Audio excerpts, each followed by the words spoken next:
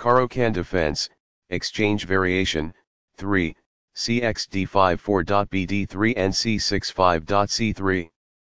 Balanced neither player ever had an advantage. That game was pretty competitive. White played a bit better than black in the opening. That was an incredible middle game by both players. Although white played a great end game, black did even better. Sharp games are frequently the result of starting with the king's pawn since it dominates the center and frees up the bishop and queen on the light squares.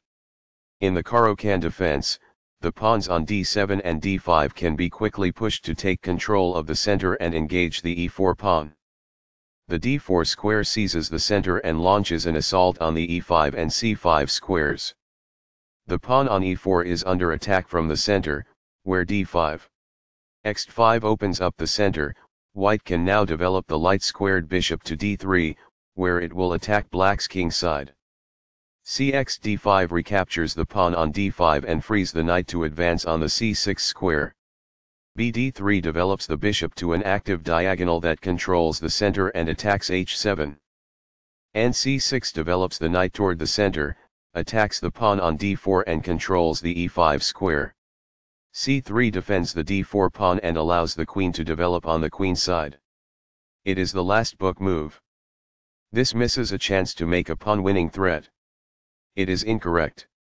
By doing this, a knight moves out of its beginning square and into the action. It is ideal. By growing a bishop from its initial square, this activates it. It is ideal. Castling gets the king to a safer square, out of the center of the board, while also developing a rook. Castling kingside tends to be safer because the king is further from the center. It is best. By doing this, a knight moves out of its beginning square and into the action. It is ideal. That is a logical response. It is quite good. Castling develops a rook, while also moving the king to safety. Castling to the same side of the board as the opponent tends to lead to less sharp positions as compared with opposite side castling. It is good. Perfectly on point. It is ideal. This deters an assault on a pawn that is weak. It is ideal. A powerful play. It is quite good. The knight becomes more active as a result, gaining control over more of the board. That's good. By doing this, a knight moves out of its beginning square and into the action. That's good. While not a mistake, that is also not the wisest course of action. That's good. Very precise. It is best. This suggests exchanging items of equivalent value. That's good. This misses the chance to provide an equitable exchange of pieces. It is incorrect. This exchange is fair. It is quite good. Recaptures. It is ideal. This misses a chance to grow a bishop outside of its starting square. It is incorrect. This misses a chance to pose a pawn-winning threat. It is incorrect. By growing a bishop from its initial square, this activates it. That's good. It's alright. That's good. That's a decent move. That's good. This is not the best approach. It is incorrect. As a result, the bishop grows and gains flexibility on the long diagonal. It is ideal. While not a mistake, that is also not the wisest course of action. That's good. This misses a chance to advance a rook from its starting square.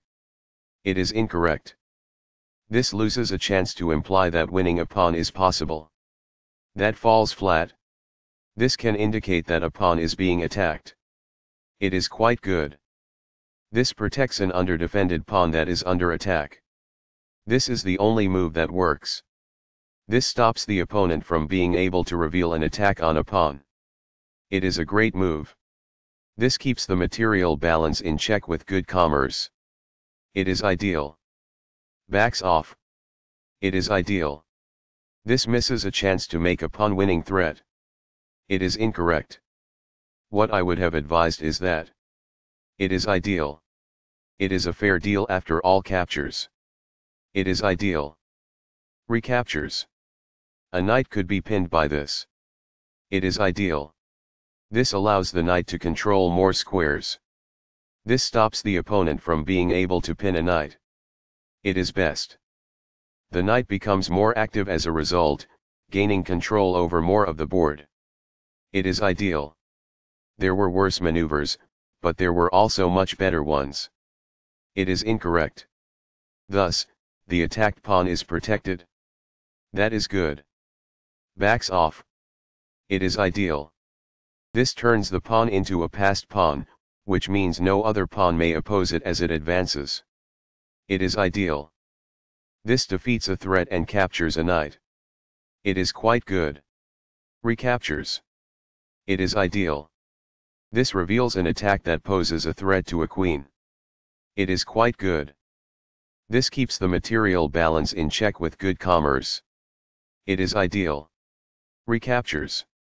This threatens to win a pawn. It is excellent. The best choice is this one. It is ideal. When a rook retreats, this attack wins a tempo. It is ideal. It is a fair deal after all captures. That's good. Backs off. Black is equal at this point in the endgame. It is ideal. In the endgame, an active king is essential, and removing it from the rear rank is the first step. That's good. This is a missed chance to offer an equal exchange of goods. It is incorrect. Not the finest, this. It is incorrect. This exchange is fair. It is ideal. Recaptures. It is ideal. Perfectly on point. It is ideal. This may succeed in winning a bishop. It is quite good. The bishop is now on a square that is more secure. It is quite good. It's alright. That's good.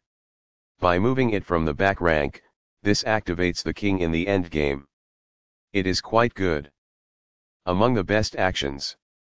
It is quite good. Very precise. It is best. What I would have advised is that. It is ideal. This requires an outpost, a square that is currently in play where a pawn cannot push the bishop off the board. That's good. A wise decision. It is quite good. That is a logical response. It is quite good. A very strong play. It is excellent. Balanced neither player ever had an advantage. That game was pretty competitive. White played a bit better than black in the opening. That was an incredible middle game by both players. Although white played a great end game, black did even better. This is the strongest option. It is best. Balanced neither player ever had an advantage. That game was pretty competitive. White played a bit better than black in the opening. That was an incredible middle game by both players. Although white played a great endgame, black did even better.